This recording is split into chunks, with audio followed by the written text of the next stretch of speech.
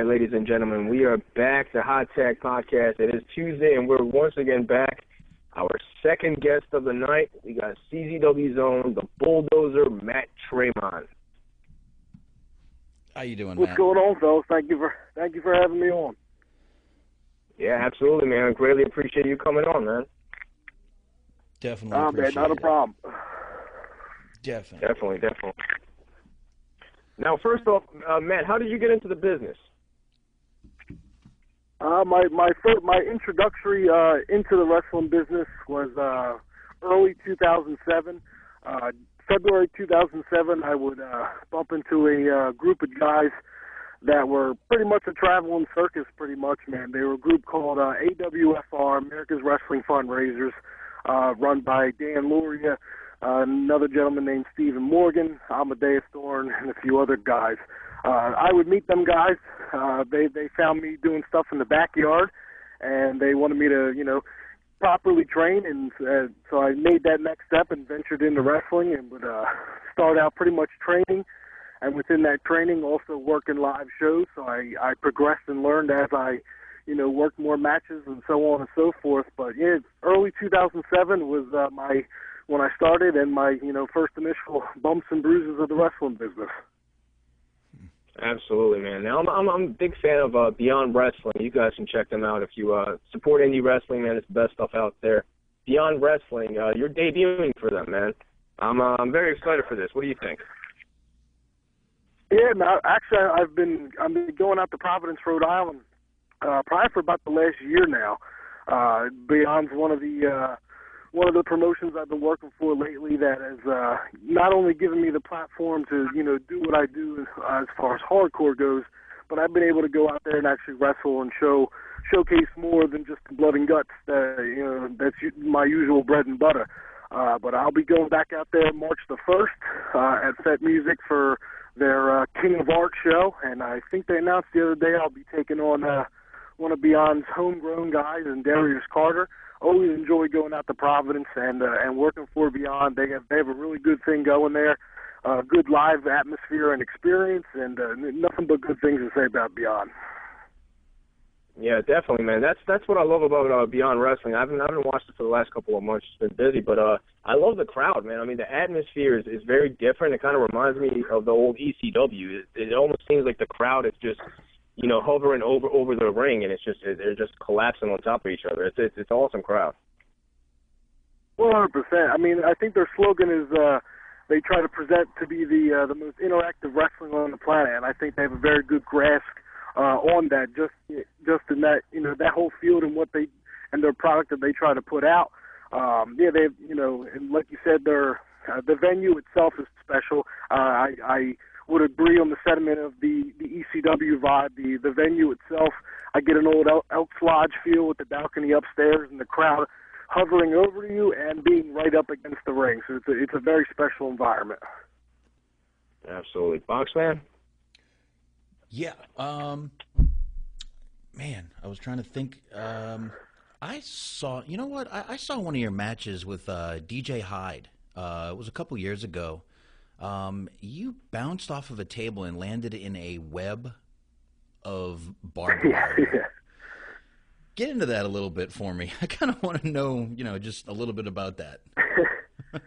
Um, it, it was uh, August 2012. Uh, the, the one of the CZW stable shows, the Tangle Web, and the Tangle Web match itself. Um, up in that at that point in time, me and DJ were involved in that program and feud for almost a year. At that point, it pretty much started from my my inception in the combat zone, and really started to get hot and heavy in the summer of 2012. Uh, that match itself. Um, at that point in time was it, it was my calling card and you know the first time they really you know gave me the ball to run with but you know you know we're really going to run with you and DJ and this is the first big match of this feud and the Tangle Web match you know besides the cage death is you know one of the one of the big gimmick matches of the year and one of the most dangerous uh the the the the actual bump that you were talking about uh, DJ choke slammed me off a a very shady structure we were on top of, and we're two big guys, and I would get choke slammed off of that structure. Uh, go through and literally be literally was tangled in the tangled web, and uh, would would would would get hung up, and uh, my head would hit the table, and the uh, would be uh, you know pretty pretty cut up from the barbed wire. Uh, which would later have me at Virtua Hospital in Voorhees, New Jersey, after the show, uh, getting 136 stitches total uh, to close up the wounds on my arm, uh, head, and my obviously exposed ass uh, from that video, from that from that one bump. So it, it was a nasty bump. It was a nasty match. Uh, but I look back on that match and Feud with DJ is, uh, especially that match in particular. That was the night I was kind of like a made man in the eyes of the fans at CZW because they knew I was, you know, was willing to put my body in in harm's way for their entertainment, and you know, because it's it's the place I always wanted to be, and apply my craft. And from that day on, it's been off to the races. But Tangle Web was a nasty one. Yeah, much respect yeah. to that bump, man. That was a hard bump. Definitely. Definitely. Go ahead, Gene. No, I I watched you. Uh, I watched you at Tournament of Death last year. I was actually there live, and you know that was hands down one of the best best wrestling shows I've ever went to. Uh, I saw you against uh, Jun Kasai, and I, I know he's one of your favorites. So, uh, how excited were you to have that match, man? Because I know I know a lot of people were very excited that Jun Kasai was back in CZW. He hadn't done too many matches, and yeah, that was that was really something special. Yeah, man, for sure. I mean, as far as deathmatch wrestling in, in this style and genre goes, uh, Jun Kasai's, you know, he's he's one of the upper echelon guys.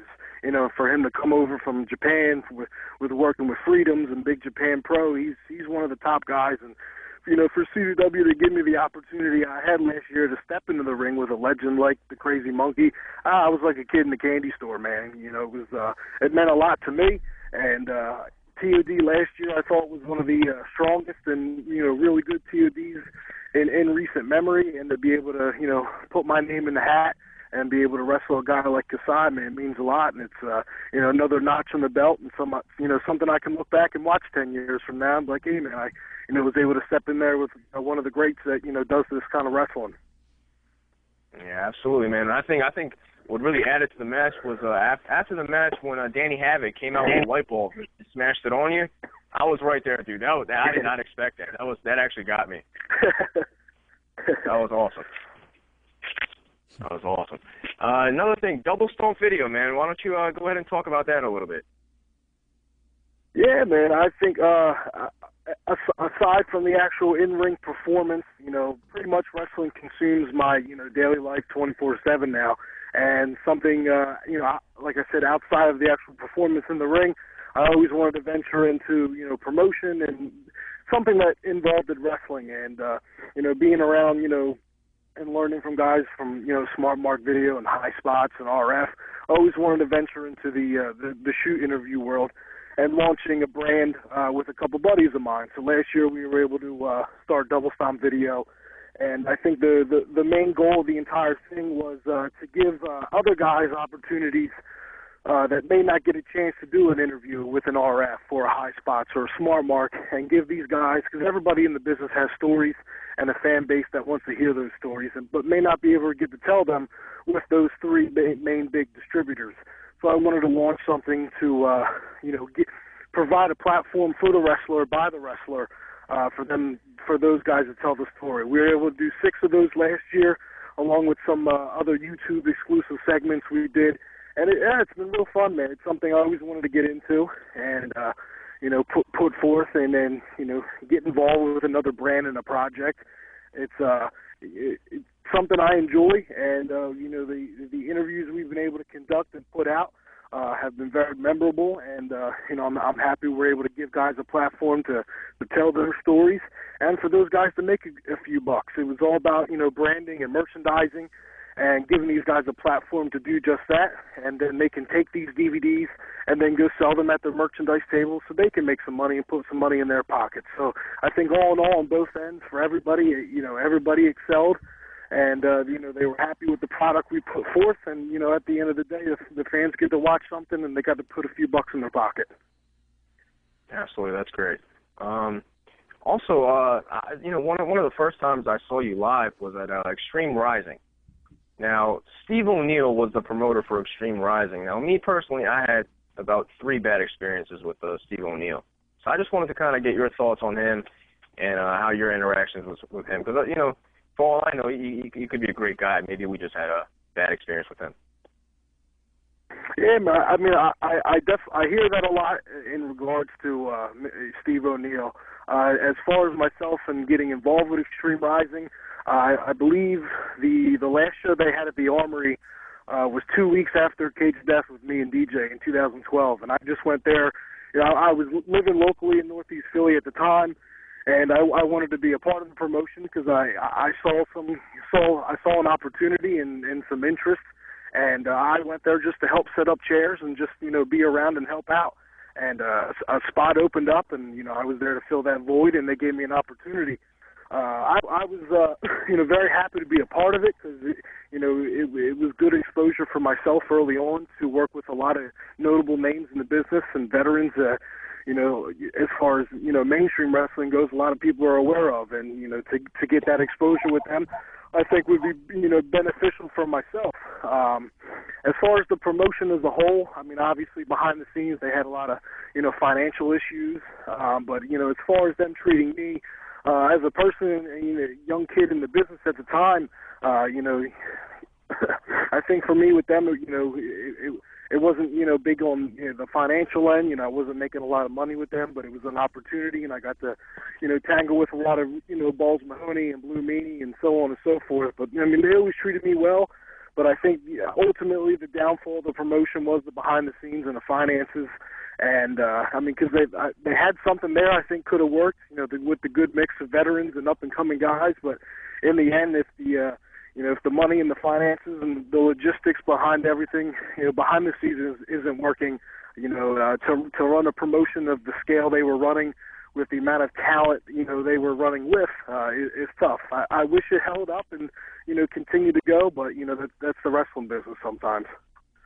Yeah, definitely, man. It was it was sad because uh, I really think they were up to something, man. That that was something really something special. It, it wasn't really ECW guys just reuniting. It was it was new talent and it was it was a good balance. I thought it was it was something good. But unfortunately, like you said, you know, sometimes it happens, but it is what it is. Anyway, you're going to be facing Stockade at CZW 16 at the at the 2300 arena. Everybody still there? Yeah, the uh, oh, I mean, my, my, myself and uh, Stockade uh, probably for I mean, we the, the, the rivalry between the, the two of us actually started uh, at Beyond in Providence uh, earlier last year, and uh, we had we had a Texas Bull Rope match, we had a Fans Bring the Weapons match, and they were very respect, uh, receptive to what we were doing. Now we've been able to uh, bring that rivalry to the combat zone, and you know, uh, to now do it with him, I have a lot of respect for Stockade. I enjoy his work, and you know, the on the three occasions we've been able to step into the ring, we've been able to, you know, put on something special and something I, you know, enjoy working with them. And now we get to take that to the the confines of the Howard halls of the arena. You know, celebrate 16 years of ultraviolence, and and do it at the famous bingo hall. So I'm I'm I'm looking uh, very much looking forward to it.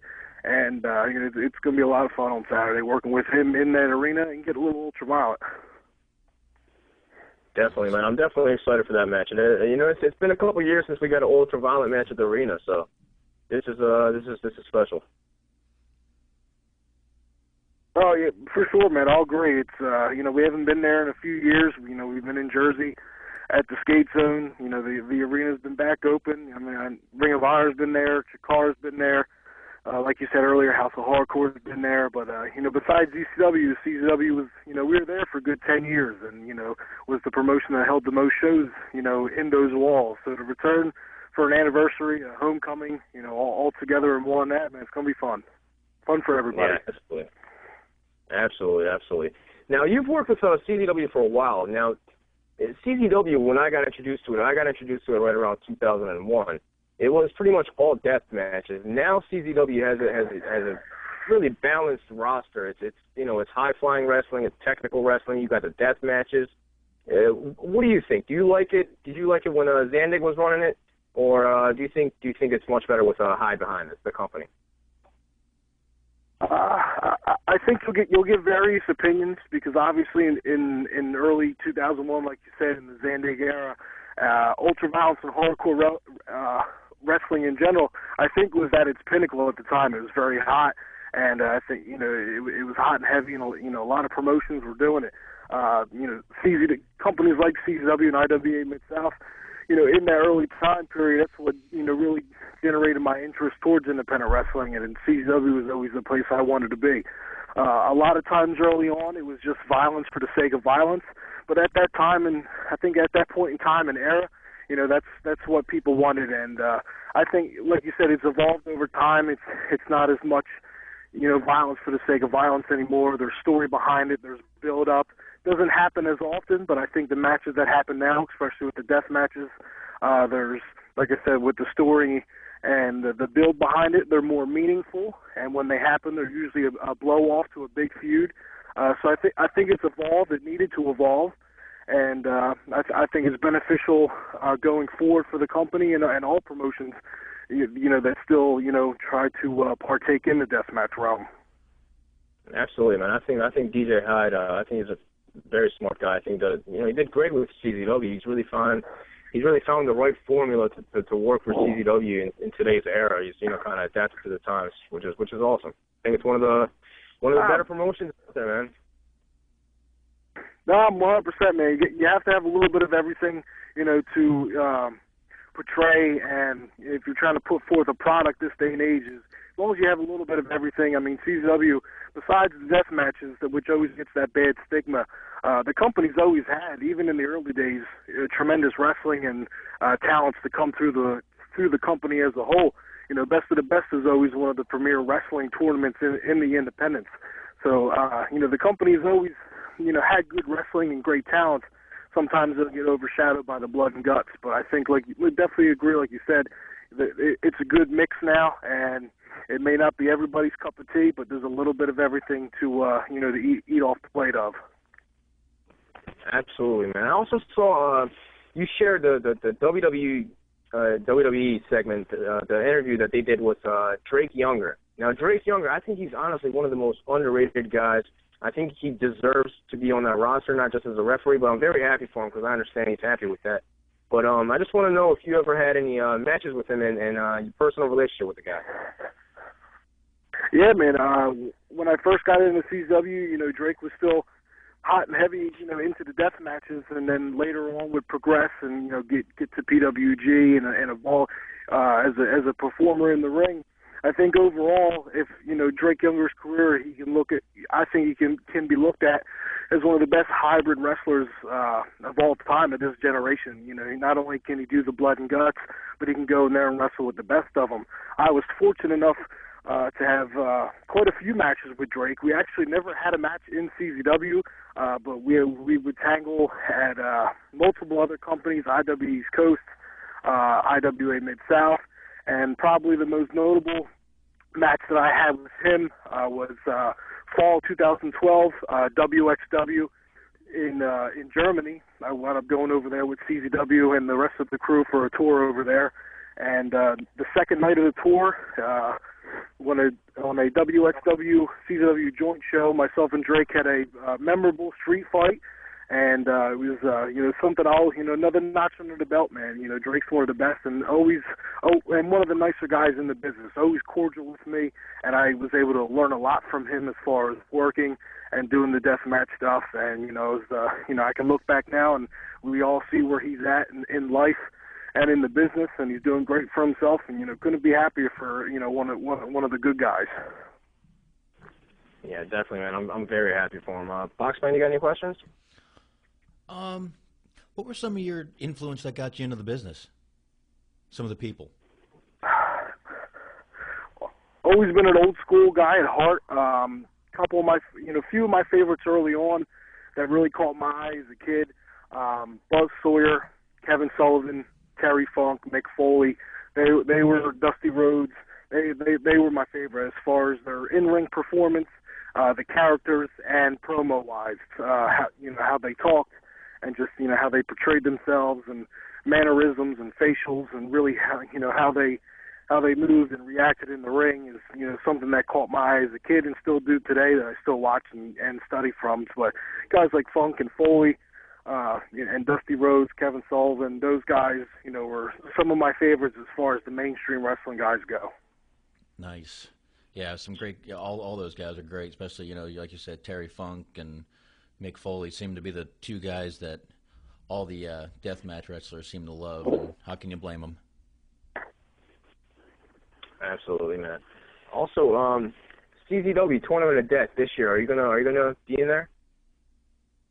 Oh man, one hundred percent. That is the uh, that's the pinnacle deathmatch tournaments. I mean, as as far as you know, deathmatch tournaments in the U.S. go, you know, there's four big ones.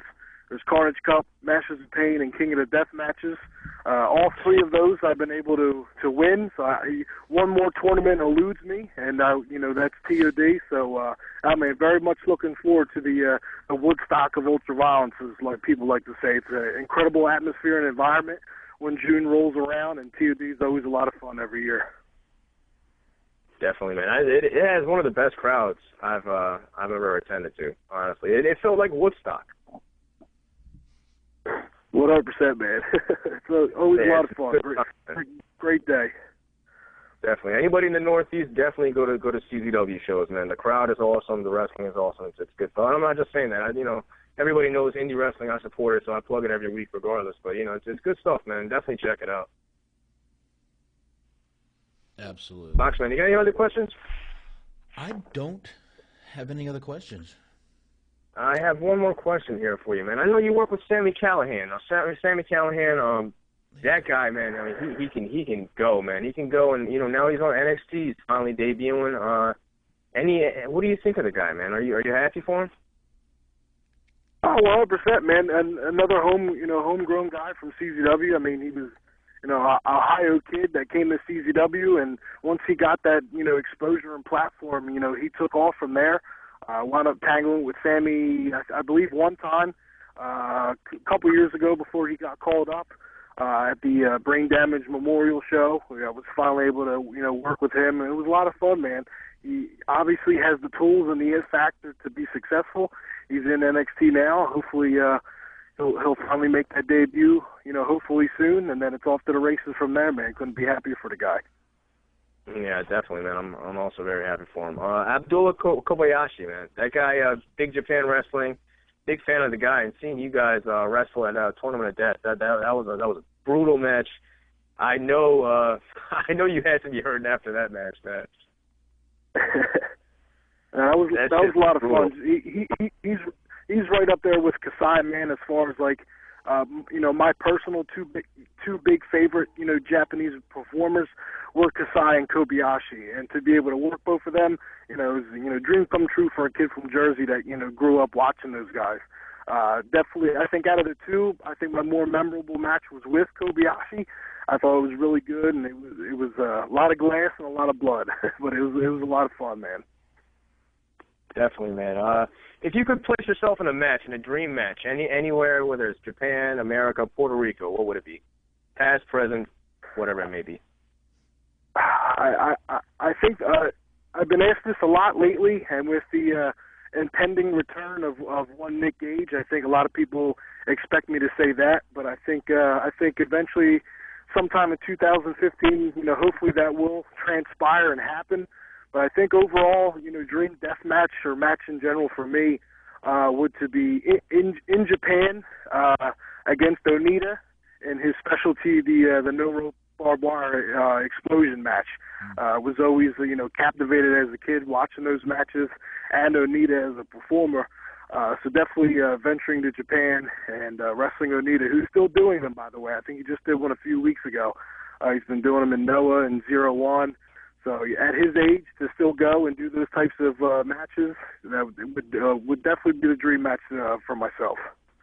Yeah, dude, he's he's he's still going strong, man. Onita, that's that's what uh that's also who got me into watching uh deathmatch wrestling. Honestly, he seems to be uh influence the fans and wrestlers also. Uh, 100% can't can't go wrong, man, with Onita matches. Now, before I, before I let you go, I got one more question. You also worked with uh, Ian Rotten in uh, IWA Mid South. Uh, thoughts on IWA? And uh, I asked Louis this. Now, you work mainly in the in the Northeast for the most part. I've, I've seen you at shows in the Northeast, and you've also done shows down south. so, what's the difference between the crowds? Because I know the Philly crowds are kind of rough. The Jersey crowds are kind of rough. The New York can be brutal. How was it down south? Uh, definitely nail on the head, man. The the Northeast crowds, I you know, they're a lot rougher than they are down south, and I think that's because you know they've. I I I, don't want to say spoiled, but as far as hardcore wrestling goes, you know, with with growing up, you know, with that you know they've seen ECW and they've pretty much seen everything under the sun as far as you know the, this genre of wrestling. Uh, down south, I, you know, I think they're not more appreciative, but you know they they don't see it as much when it happens. It's it's a lot more special, and uh, you know it's it it just it just goes with the territory, man. You know those southern crowds, you know for for decades have always been you know up close and personal, and you know they they really do emotionally invest into the matches and the product. You know those Memphis crowds back in the day were hot, and you know every time I go out to Ian's and IWA Mid South, the crowds are you know still like that. You know very very emotionally invested into the product and the matches and they really get into it, man. I I always enjoy going out to the Midwest and down south uh, to perform for you know any of the IWA Mid South and its sister promotions, East Coast and Deep South, you know, in the Alabama, Tennessee area. But uh, IWA as a whole, you know, they've always been good to me. Ian's always treated me well, always taken care of me, uh, and, and you know, and given me opportunities, you know, I always you know dreamt of. And you know, king of the death matches, and he's you know he's put me in there with a lot of great guys to learn from, and you know they've always taken care of me well. Always enjoyed going out there.